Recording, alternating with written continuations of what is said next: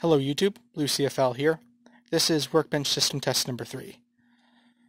The devices that remain the same from the previous test are the panel, the Silent Knight SK6324, the pull station, uh, Edwards 270-SPO, and the System Sensor 2WTB smoke detector.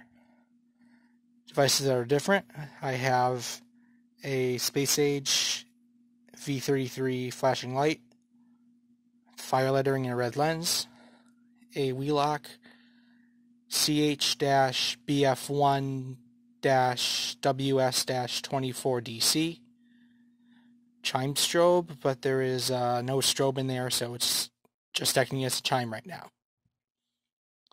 And you can also see that I have my Space Age V33 blue stormlight as well and I'll show you what that's there for in a minute.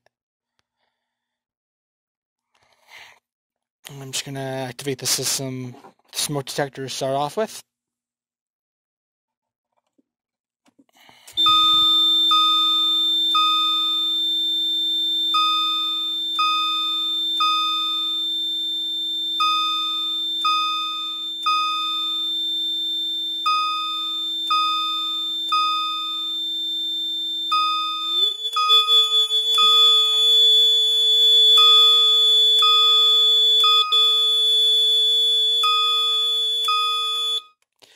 Uh, geez, I hate that piezo.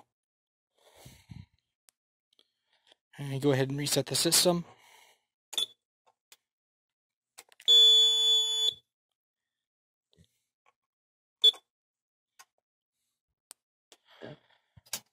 Now I'll show you what the Stormlight's all about. I changed around the, disp, the dip switches in the panel, and the pull station now acts as a supervisory zone and NAC3 is a supervisory output instead of a regular alarm output. So me pulling this pull station, it'll activate the storm light. I didn't have any uh, uh, non-fire related pull stations besides um, magnetic switches for alarm systems. So this will have to do for now. Here goes.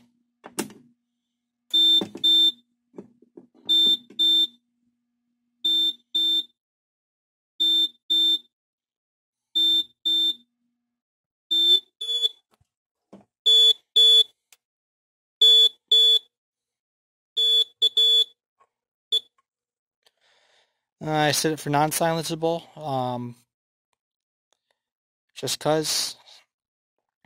Go ahead and activate the smoke detector and you'll see both going at the same time.